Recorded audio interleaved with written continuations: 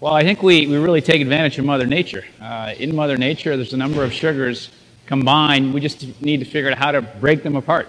Of course, one unique qualifier of the Plantrose process is uh, that we manufacture cost advantageous sugars from cellulosic biomass, non food sources. We can use our process to de- deconstruct several varieties of biomass. We have almost 7 billion people on this planet to feed. I don't think we can afford to divert our precious food sources to make chemicals or fuels.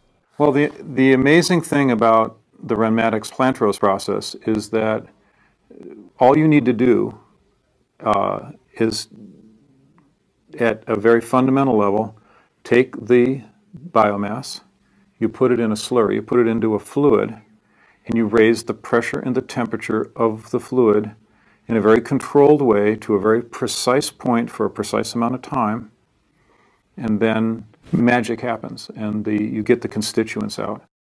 As you heat up water, you eventually reach the point where it starts to boil.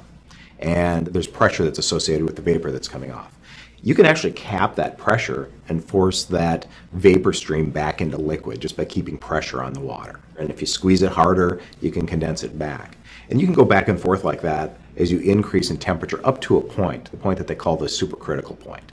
Supercritical is a term that refers to the fourth state of matter.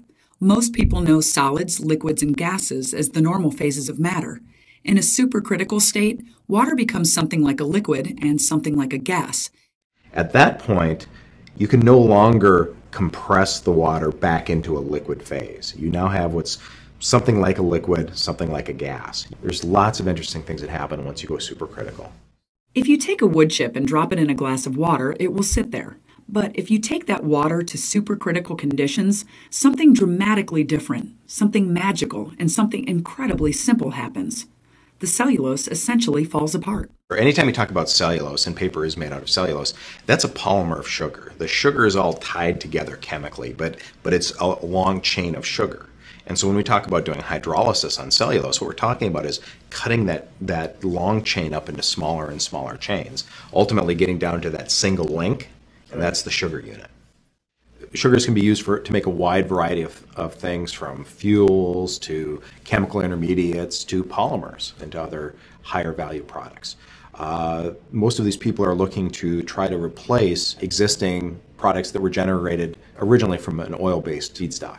We figure if we can make a good sugar from a good source at the right price, that we've done our job and all of the very interesting uh, technologies that, that have been evolving over the last 20 years can really be put into the marketplace as well. Renmatix, like many such ventures, started with um, just a couple people and an idea, then brought a team of really experienced uh, people from the industry, and we're so excited that this we've put together this great team to bring this important technology uh, to the market at scale. We're changing, you know, pretty big markets. The energy and particularly the fuels and chemicals markets are very big markets. And they both know they need to move towards a renewable alternative. And we're an enabling technology from a material perspective to help that happen.